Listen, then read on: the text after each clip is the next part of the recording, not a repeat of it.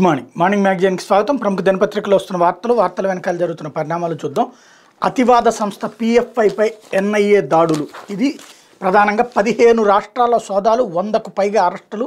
ఏపీలో నలుగురు తెలంగాణలో ఒకరు. పరిస్థితిని ఎప్పటికప్పుడు సమీక్షించిన హోంమంత్రి అమిత్ షా విదేశాల నుంచి ఉగ్ర నిధులు అందుకుని దేశంలో మత విద్వేషాలు రెచ్చగొడుతున్న అభియోగాలను ఎదుర్కొంటున్న అతివాద ఇస్లామిక్ సంస్థ పాపులర్ ఫ్రంట్ ఆఫ్ ఇండియా పైన జాతీయ దర్యాప్తు సంస్థ కన్నెర చేసింది.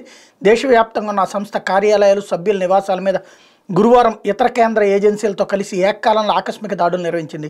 పదిహేను రాష్ట్రాల్లో తొంభై మూడు ప్రాంతాల్లో సోదాలు జరిపి నూట ఆరు మందిని అరెస్ట్ చేసింది అన్నటువంటి వార్తను హైలైట్ చేసింది. ఇక్కడ బేసిక్గా మన దాకా కూడా వచ్చేసింది. ఎక్కడో కాశ్మీర్లో ఉండే తీవ్రవాదం లేకపోతే కనుక ఇదివరకు పంజాబ్లో ఉండేటువంటి తీవ్రవాదం ఈశాన్య రాష్ట్రాల్లో ఉన్నటువంటి తీవ్రవాదాన్ని మన దగ్గరికి తీసుకొచ్చేసినటువంటి ఘనత పిఎఫ్ఐది అక్కడ ఉన్నటువంటి వాళ్ళు అక్కడ పరిస్థితులకు అనుగుణంగా భారత వ్యతిరేకత అంటే ఈ దేశంలో మన మధ్యనే ఉంటూ మన మధ్యలో నుంచినే మనల్నే చంపేసేటువంటి కుట్రలకి తెరతీసినటువంటి శిక్షణలతో కూడినటువంటి ఒక దుర్మార్గమైనటువంటి తీవ్రవాదం వైపుకి తీసుకెళ్తూ ఇక్కడున్నటువంటి ముస్లిం యువతని దారి మళ్ళిస్తున్నటువంటి వ్యవహారం. చివరికి ఆంధ్ర తెలంగాణలో కూడా పెద్ద ఎత్తున పట్టుబడినటువంటి నేపథ్యం శిక్షణలు ఇస్తున్నటువంటి దానికి సజీవ సాక్ష్యం మరేం అక్కర్లేదు. అల్లర్ల దగ్గర నుంచి ఇక్కడ జరిగినటువంటి నంజాల దగ్గర జరిగినటువంటి పోలీస్ స్టేషన్ మీద దాడి దాకా చూస్తే ఇది ఎవడో ఉగ్రవాదులు వచ్చి చేయలేదు. లేదా ఆవేశంలో చేసినటువంటిది కాదు. స్ట్రాటజిక్గా చేసినటువంటిది. ఆవేశాన్ని మిగతా వాళ్ళలో రెచ్చగొట్టి చేస్తున్నటువంటి అట్లాంటి వాటికి చెక్ పెట్టేందుకు కేంద్ర ప్రభుత్వం ఇచ్చిన ఆదేశాలతో ఎన్ఐఏ సీరియస్ ఎఫర్ట్ పెట్టింది. ఇకపోతే ఎన్టీఆర్ పేరు మార్పు అనాగరికం అన్నటువంటి వార్తను హైలైట్ చేశారు. చేతనైతే మరో యూనివర్సిటీ ఏర్పాటు చేసి మీ తండ్రి పేరు పెట్టుకోండి. గవర్నర్కి మాట మాత్రంగానైనా చెప్పలేదు. తెలుగుదేశం పార్టీ అధినేత చంద్రబాబు ధ్వజం పేరు మార్పుపై గవర్నర్కి ఫిర్యాదు. ఏపీలో ప్రస్తుతం ఉన్న ప్రభుత్వ ప్రైవేట్ వైద్య కళాశాలలో పదహారు తెలుగుదేశం పార్టీ హయాంలో వచ్చినవి. వాస్తవాలు ఎలా ఉంటే జగన్ అసెంబ్లీ సాక్షిగా పచ్చి అబద్ధాలు చెప్పారు. నేను అసలు కాలేజీలో ఏర్పాటు చేయలేదంటే. జగన్ ప్రభుత్వం ప్రతిపాదించిన వైద్య కళాశాల మూడింటికే ఇప్పటివరకు గుర్తింపు వచ్చింది. రాష్ట్రానికి ప్రతిష్టాత్మక ఎయిమ్స్ వస్తే తెలుగుదేశం పార్టీ ప్రభుత్వం నూట తొంభై ఏడు ఎకరాల భూమి ఇచ్చింది. రెండు పక్కల దారిత్యం జగన్ ప్రభుత్వం ఎయిమ్స్ కనీసం నీళ్ళు ఇవ్వలేదు. ఇట్లాంటి వీళ్ళ వైద్య విద్య గురించి మాట్లాడుతుంది అన్నటువంటి వార్తని హైలైట్ చేశారు. ఇకపోతే మౌలిక వసతుల కల్పనలో రాజీ వద్దు అంటూ గృహ నిర్మాణంలో గృహ నిర్మాణంపై సమీక్షలో సీఎం జగనన్న కాలనీలో ఇళ్ళ నిర్మాణం పూర్తయ్యే సమయానికల్లా మౌలిక వసతులు కల్పించాలని ఎట్టి పరిస్థితుల్లో రాజీ పడద్దని సీఎం జగన్ అధికారులను ఆదేశించారు. రాష్ట్రంలో గృహ నిర్మాణంపై గురువారం తాడేపల్లి క్యాంప్ కార్యాలయంలో సీఎం సమీక్ష నిర్వహించారు. ఈ సందర్భంగా అధికారులకు ఆయన పలు సూచనలు చేశారు. ఇళ్ళ నిర్మాణంలో నిర్దేశించుకున్న లక్ష్యాలను గడువులోగా చేర్చుకోవాలి. గృహ నిర్మాణాలు వెనుకబడి జిల్లాలు ఏజెన్సీ ప్రాంతాలపై ప్రత్యేక దృష్టి పెట్టాలి. ఇళ్ళ నిర్మాణ పనులు పూర్తయ్యే నాటికి కాలనీలో కాలువలు విద్యుత్తు తాగునీరు వంటి కనీస వసతులు కల్పించాలంటూ ఆదేశించినటువంటి వార్తని హైలైట్ చేశారు. లేకపోతే అమరావతిపై మాస్టర్ ప్లాన్ అంటూ బృహత్ ప్రణాళిక మార్చొద్దని విస్పష్టంగా చెప్పిన హైకోర్టు అయినా ఏకంగా సిఆర్డీఏ చట్టానికి ప్రభుత్వ సవరణ అసెంబ్లీ చివరి రోజు ఆమోదం దీంతో ప్రభుత్వానికి పలు అధికారాలు స్థానిక సంస్థల సమ్మతి లేకపోయినా మాస్టర్ ప్లాన్ మార్చేయచ్చు. ప్రజాప్రేమిక నామం మాత్రమే. అమరావతిని నాశనం చేయడానికి ప్రభుత్వం కొత్త ఎత్తుగడ. అమరావతి విధ్వంసమే ఎజెండాగా సాగుతున్న జగన్ ప్రభుత్వం దాని అమలుకు సరికొత్త దారులు వెతుకుతోంది. అమరావతి బృహత్ ప్రణాళిక ఇష్టానుసారం మార్పులు చేయడానికి వీల్లేదని హైకోర్టు స్పష్టంగా చెప్పడంతో ఏకంగా సిఆర్డీఏ చట్టాన్ని సవరిస్తూ బుధవారం శాసనసభలోను మండలిలోను బిల్లు ఆమోదించింది. ఏ ప్రభుత్వమైనా ఒక సదుద్దేశంతో చట్టాన్ని సవరిస్తుంది కానీ వైకాపా ప్రభుత్వం మాత్రం అమరావతిని దెబ్బతీయడమే లక్ష్యంగా సిఆర్డీఏ చట్టాన్ని సవరించిందని రాజధాని ప్రజలు ఆందోళన వ్యక్తం చేస్తున్నారు. అమరావతిని ఏకైక రాజధానిగా కొనసాగించాలని ఆరు నెలల్లో నిర్మాణం పూర్తి చేయాలని హైకోర్టు స్పష్టంగా తీర్పు చెప్పిన చీమ కొట్టినట్టయినా లేని జగన్ ప్రభుత్వం సిఆర్డీఏ చట్టాన్ని సవరించాల్సిన అవసరం ఏమొచ్చిందని వాళ్ళు ప్రశ్నిస్తున్నారు అన్నటువంటిది. ఇక్కడే అమరావతి నాశనానికి ఎవరినన్నా శపించాలి ఎవరినైనా దూషించాలి ఎవరినైనా తిట్టాలి అంటే ఈనాడు ఆంధ్రజ్యోతిని తప్పించి ఇంకెవ్వరిని కాదు. ఆనాడు అద్భుతం జరిగిందని ఈనాడేమో అనర్థం జరిగిపోతుందంటూ అప్పుడు అబద్ధాలే ఇప్పుడు అబద్ధాలే. ఇక్కడ ఆ ఇరవై తొమ్మిది గ్రామాలకే పరిమితమైతే అమరావతి అనేది ఎప్పటికీ బాగుపడదు. ఎప్పటికీ ఎదగదు. ఎందుకంటే ఆ ఇరవై తొమ్మిది గ్రామాల ఊళ్ళోళ్ళు బాగుపడతారు కానీ రాష్ట్రంగా ఇక్కడ ఒకందుకు ఒక మంచి పద పదం వాడారనమాట ఏమని అంటే అమరావతి రాజధాని ప్రాంత ప్రజలు బాధపడుతున్నారు. కరెక్ట్. ఆ ఇరవై తొమ్మిది గ్రామాల ప్రజలు బాధపడుతున్నారు. కానీ ఆ ఇరవై తొమ్మిది గ్రామాలకే రాష్ట్ర రాజధాని అనేది ఉంటే కనుక రాష్ట్రం మొత్తం బాధపడుతుంది. ఆ రాష్ట్రం బాలో అమరావతి రాజధాని కావాలి అంటే అది డెవలప్ అయి తీరాలి అంటే కనుక ఈ మధ్యలో పనికిమాలినటువంటి వార్తల్ని తగ్గించి దాన్ని ప్రోత్సహించి లేదా సైలెంట్ కూర్చుని అయిపోయాక మనకు నచ్చిన ముఖ్యమంత్రిని ఎట్లాగ తెచ్చుకుందాం అనుకుంటున్నాం. ప్రజల్లో ఆల్రెడీ చాలా స- చక్కగా స్పష్టంగా మనం తీసుకెళ్తున్నాం ఒక విభజన రేఖని. మనకు నచ్చిన నాయకుడు రేపో మాపు వచ్చేస్తాడు కదా రెండు వేల ఇరవై నాలుగు వచ్చాక మార్చుకుని మళ్ళీ ఇరవై తొమ్మిది గ్రామాలకి పరిమితం చేద్దాం. ఏముంది? ముందైతే ఈలోపు మిగతా ప్రాంతాలు కూడా బాగుపడతాయి కదా. దాన్ని బాగుపడనీయకుండా చెడగొట్టుకోవడానికి ఈ విధమైనటువంటిది ఎందుకు? మాస్టర్ ప్లాన్లు ఇక్కడ ఆ ఊళ్ళోళ్ళు అంటే ఇరవై తొమ్మిది ఊళ్ళోళ్ళు డిసైడ్ చేస్తారు. ఆంధ్రప్రదేశ్ భవిష్యత్ అంతా కూడా ఆంధ్రప్రదేశ్ రాజధాని వాళ్ళు చెప్పినట్టు నడుస్తుందా? అపార్ట్మెంట్లకి స్థలం ఇచ్చుకున్న తర్వాత ఆ స్థలం ఇచ్చినటువంటి వ్యక్తి కట్టిన వాళ్ళకి మధ్యన అగ్రిమెంట్ అన్నటువంటిది చేసుకుంటే అది వ్యాపారపు అగ్రిమెంట్ అవుతుంది. ఇది రాజధాని. వాళ్ళిద్దరి మధ్యన వ్యాపారం చేసుకోవడానికి రియల్ ఎస్టేట్ వ్యాపారం కాదు రాష్ట్ర ప్రజలకు సంబంధించినటువంటి అంశం రాష్ట్ర భవిష్యత్తుకు సంబంధించిన అంశం. ఇది ఇది దీంతో బాధపడినే దీని వల్ల కాదనుకుంటూనే జగన్ పారిపోతున్నాడు. ఆ పారిపోయే విధంగా కాకుండా కాస్త దీనికి కూడా ఏదో కోర్టు ఆదేశాల మేరకు సెటరేట్ అవుతుంటే దాన్ని మళ్ళీ మనం నాశనం చేసి మాకు నచ్చే నాయకుడు వచ్చేదాకా ఇక్కడ రచ్చరచ్చ చేయాలి ఆ తర్వాత ఏదో చేసేద్దాం అనేటువంటి కోణంలో నడుస్తున్నటువంటి వ్యవహారం. ఇక అది అంతే ఇకపోతే కుప్పం అష్టదిగ్బంధం అంటూ సీఎం రాక నేపథ్యంలో అడుగడుగున పోలీసులు రోడ్డుని తవ్వి మధ్యలో బ్యారికేడ్ల ఏర్పాటు. ముఖ్యమంత్రి హోదాలో జగన్ తొలిసారి చిత్తూరు జిల్లా కుప్పం వస్తుండటంతో పోలీసులు పట్టణాన్ని అష్టదిగ్బంధం చేశారు. మూడో విడత ఈఎస్ఆర్ చేయూత కార్యక్రమాన్ని ప్రారంభించడానికి ఆయన తెలుగుదేశం పార్టీ అధినేత చంద్రబాబు ప్రాతినిధ్యం వహిస్తున్న కుప్పానికి శుక్రవారం వస్తున్నారు. ఈ నేపథ్యంలో గతంలో ఎన్నడూ లేనంతగా రెండున్నర వేల మంది వరకు పోలీస్ సిబ్బంది పట్టణంలో అడుగడుగున మోహరించారు. ముఖ్యమంత్రి కాన్వాయ్ ట్రయల్ రన్ కోసం గురువారం కొద్దిసేపు కుప్పం చెరువు కట్ట వద్ద వాహనాలు నిలిపేయడంతో సామాన్యులకు ఇబ్బందులు తప్పలేదు. అంటే ముఖ్యమంత్రి ఏదన్నా ఎర్ర బస్సులో నడిచి వస్తే బెటర్ ఏమో లేకపోతే కనుక అక్కడ రైలు దిగి నడుచుకుంటూ వస్తే బెటర్ ఏమో ఈనాడు ఫీల్ అవుతుంది కదా. అంటే ఇదివరకు చంద్రబాబు నాయుడు గారు వస్తే కనుక ఏది పులివెందులు వస్తేనో లేకపోతే ఇంకో చోటకు వస్తేనో అలా ఏర్పాట్లు చేయకుండా మీరు దిగొచ్చేయండి సార్ పర్లేదంటారా ఏంటి? ప్రతి దానికి ఒక నెగిటివ్ క్రియేట్ చేయడం తప్పించి ఇంకోటి ఇక్కడ ఇంకో ముక్క రాసుకొచ్చారు తెలుగుదేశం పార్టీ నాయకులు గృహ నిర్బంధం. సీఎం జగన్ పర్యటన సందర్భంగా ఆటంకాలు తలెత్తకుండా ఉండేందుకు పోలీసులు ముందస్తుగానే ఇప్పటికే కేసులు నమోదైన తెలుగుదేశం పార్టీ నాయకులు కార్యకర్తలకు సమన్లు ఇచ్చారు. విజయపురం కార్వేట్ నగరం మండలాల తహసీల్దారుల ముందు గురువారం వాళ్ళు హాజరయ్యారు. దీనితో నియోజకవర్గంలో క్రియాశీలంగా ఉన్న తెలుగుదేశం పార్టీ కార్యకర్తలు గురువారం ఉదయం నుంచి గృహ నిర్బంధంలో ఉంచారు. ఇది రెండు వేల పద్నాలుగు నుంచి జరుగుతూనే ఉంది. ఎప్పుడు వచ్చినా సరే. చంద్రబాబు వచ్చినప్పుడు వైసీపీ బీజేపీ జనసేన. ఇప్పుడు తెలుగుదేశం బీజేపీ జనసేన. ఆ పరిస్థితికి కారణం ఏంటి అన్నటువంటిది ఆత్మవిమర్శ చేసుకోవాల్సినటువంటి అంశం. ముఖ్యమంత్రి వస్తే రానియాలా పో వెళ్ళిపోమనాలా? చంద్రబాబు అయినా ఈయనైనా. దానికి అనవసరంగా అక్కడ ఉద్రిక్తత సృష్టించుకోవడం ఏంటి? అయిపోయిన తర్వాత మనం మాట్లాడేదో చెప్పాలి. కానీ ఉద్రిక్తతలు సృష్టించేటువంటి వ్యవహారాలు నడుస్తున్నాయి. ఇంకోటి ఏంటంటే సహజ సిద్ధమైనటువంటి వ్యవహారం. అలా కాదు వచ్చేయండి మీరు అందరూ వెళ్ళి కొట్టుకోండి అని చెప్తారు ఎవరైనా. కాకపోతే నడుస్తూనే ఉంటుంది వీళ్ళ వార్తలు ఇలాగే ఉంటుంది. లేకపోతే కృష్ణా బోర్డును విశాఖకి తరలించండి. కార్యాలయ ఏర్పాటుకు వస్తువులు ఉన్నాయంటే ఆంధ్రప్రదేశ్ లేక కృష్ణా బోర్డును హైదరాబాద్ నుంచి విశాఖపట్నానికి తరలించాలని ఆంధ్రప్రదేశ్ జలవనరుల శాఖ కృష్ణా రివర్ మేనేజ్మెంట్ బోర్డుకి తాజాగా లేఖ రాసింది. విశాఖలోని ఇంజనీరింగ్ స్టాఫ్ కాలేజీలో ఏడు వేల చదరపడుగుల స్థలం అందుబాటులో ఉందని బోర్డు కార్యాలయ ఏర్పాటుకు అనువుగా ఉంటుందని ఇంజనీరింగ్ చీఫ్ నారాయణ రెడ్డి లేఖలో పేర్కొన్నారు. అయితే కృష్ణా బోర్డు అధికారులు గతంలో విశాఖను సందర్శించి దాదాపు పదివేలకు పైగా చదరపడుగుల స్థలం కావాలని ప్రతిపాదన సమర్పించినట్టు తెలిసింది అన్నటువంటి వార్తను ఇక్కడ హైలైట్ చేశారు. మరి పదివేల స్థలం ఎందుకు అవసరం అవుతుందో తెలియదు. అంటే ఒక తప్పించుకోవడానికి అక్కడ హైదరాబాద్ అయితే హ్యాపీగా ఉంటుంది వాళ్ళకి. వైజాగ్ రా ఇప్పుడు వైజాగ్ అప్పటికి కూడా విజయవాడ వాస్తవంగా అయితే కృష్ణానది ఎక్కడ ఉంది విజయవాడలో. కాకుండా వైజాగ్ వీళ్ళ కోసం ఎందుకు ఇస్తున్నారు అంటే వీళ్ళకి ఆ మెట్రో సిటీ కావాలంటున్నారు కాబట్టి. అయినా కూడా ఇంకా ఎట్లా ఉంటుంది అనేటువంటి చూడాల్సి ఉంది కృష్ణానది పరివాహకంలో కాకుండా ఎక్కడో ఉండాలనేటువంటి కాన్సెప్ట్ వై వైజాగ్లో హైదరాబాద్లో ఉండాలనేటువంటి కాన్సెప్ట్ అందులో ఉన్నటువంటి సిబ్బందికి తీరు మూలంగా జరుగుతూ ఉంటుంది. బోర్డులో ఉన్నటువంటి సభ్యుల కారణంగా కూడా ఉంటూ ఉంటుంది. ఇకపోతే నినాదాల మోత బిల్లు ప్రతుల కాల్చివేత. కృష్ణా జిల్లాలో కొనసాగిన మహాపాదయాత్ర అమరావతి ఒక్కటే రాజధాని. అనే నినాదాన్ని హోరెత్తిస్తూ సిఆర్డీఏ చట్ట సవరణ బిల్లు ప్రతుల్ని కాల్చివేస్తూ రైతులు అడుగులు ముందుకు వేశారు. అమరావతి నుంచి అరసవెల్లి దాకా చేపట్టిన మహాపాదయాత్ర కృష్ణా జిల్లాలో మచిలీపట్నం లోక్సభ నియోజకవర్గ పరిధిలో దిగ్విజయంగా కొనసాగింది. పదకొండవ రోజైన గురువారం చిన్నాపురంలో ఉదయం తొమ్మిది గంటలకు కోలాహలంగా పాదయాత్ర ప్రారంభమైంది. రైతు రైతు కూలీ సంఘాల నాయకులు పెద్ద ఎత్తున తరలివచ్చి సంఘీభావం తెలిపారు. మాజీ మంత్రి కొల్లు రవీంద్ర మాజీ ఎంపీ కొనకళ్ళ నారాయణ మాజీ ఎమ్మెల్యే రావి వెంకటేశ్వర పాల్గొన్నారు. చిన్నాపురం గుండుపురం మీదుగా మధ్యాహ్నం పన్నెండు గంటలకు మచిలీపట్నంలోని ప్రవేశించిన రైతులు హుసేన్పాలెం దాకా నడిచారు. గ్రామీణ ప్రాంతాల ప్రజలు మచిలీపట్నం వాసులు అడుగడుగున ఘన పలికారన్నటువంటి వార్తను ఇక్కడ ప్రధానంగా హైలైట్ చేశారు. ఇకపోతే ఆంధ్రజ్యోతి మాటల్లోనే కట్టేశారు అంటూ మెడికల్ కాలేజీలపై మొదటి నుంచి మాయే కొత్త వైద్య కళాశాల నిర్మాణం కోసం రాష్ట్ర ప్రభుత్వం ఒక్క పైసా ఖర్చు పెట్టలేదు. ఆరు వేల ఐదు వందల కోట్లు అవసరం కాక అందులో కేంద్రం మూడు కాలేజీలకు ఐదు వందల ఎనభై ఐదు కోట్లు కేటాయించింది. మరో మూడు కాలేజీలకు నాబార్డు నుంచి పదకొండు వందల నలభై ఆరు కోట్ల రుణం తీసుకున్నారు.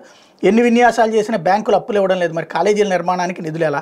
ఆచరణ సాధ్యంగానే ప్రణాళికలతో తంటాలు అధికారులు చెప్పిన వినిపించుకొని జగన్ ఒకేసారి పదహారు మా పదహారు మెడికల్ కాలేజీలు అంటూ గొప్పలు. బ్యాంకు రుణం కోసం అనేక విఫల విన్యాసాలు మూడు కాలేజీలకు కేంద్ర సాయం ఐదు వందల ఎనభై ఐదు కోట్లు మరో మూడింటికి నాబార్డు రుణం పదకొండు వందల నలభై ఆరు కోట్లు రాష్ట్ర ఖజానా నుండి ఒక్క పైసా ఇవ్వని వైను. కేంద్ర నాబార్డు నిధులే ఇతర కాలేజీలకు ఒక్కటి పూర్తి చేయలేక అన్నీ అరకొరగాని. రెండు వేల ఇరవై ఏడు తర్వాత పనులు పూర్తయ్యే అవకాశం అధికారులు ఇప్పటికే స్పష్టత. ఇది ఇక్కడ పదహారు మెడికల్ కాలేజీలు వస్తున్నాయి అన్నటువంటి దాన్ని రాయడానికి మనసొప్పని భావదారిద్ర్యం వార్తా దారిద్ర్యం ఆంధ్రజ్యోతికి. పదహారు మెడికల్ కాలేజీలు ఒకటి కాదు రెండు కాదు. ఇదే మన ప్రభుత్వం మనకు నచ్చిన ప్రభుత్వం ఉంటే ఏం చేసేది? పదహారు కాలేజీలు ప్రైవేట్ వాళ్ళకి ఇచ్చేయమనేది. ఒక్కొక్క జిల్లాలో ప్రైవేట్ వాళ్ళకి ఇచ్చేస్తే వాళ్ళు శుభ్రంగా మెయింటైన్ చేసుకుంటారు అని చెప్పేసి అవుట్ సోర్స్ కింద ఇచ్చి ఇచ్చిపడేసేవాడు ఇచ్చి అలా కాకుండా ప్రభుత్వం చేతిలో ఉంచుతున్నది జగన్ ప్రభుత్వం.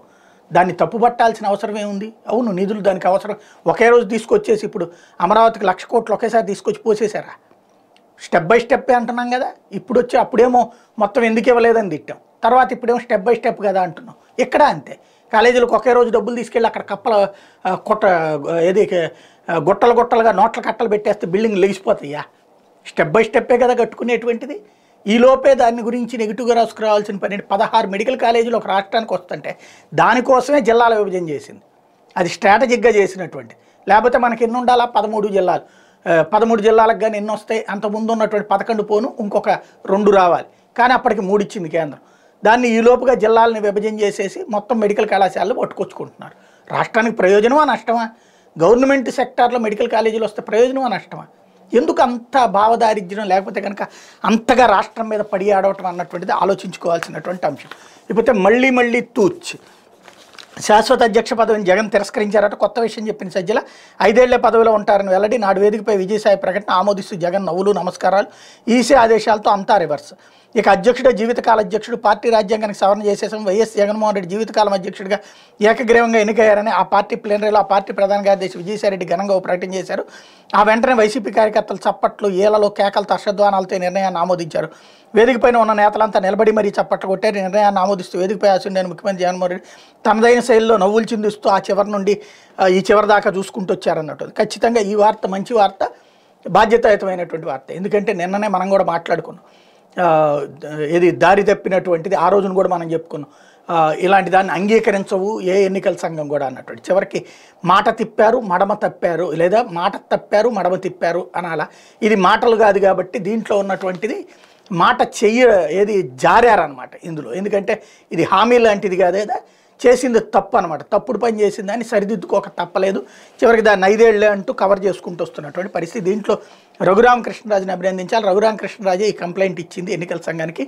దాని పర్యవసానం ఇప్పుడు జగన్ శాశ్వత అధ్యక్షుడు కాదు ఐదేళ్ళని సొంతగా పార్టీ ప్రకటించుకోవాల్సి వచ్చింది. లేకపోతే పేరు మార్పుపై పోరు అంటూ ఎన్టీఆర్ పేరు తొలగింపై టీడీపీ ఆందోళన పొర్లు దండాలతో అభిమానుల నిరసనలు.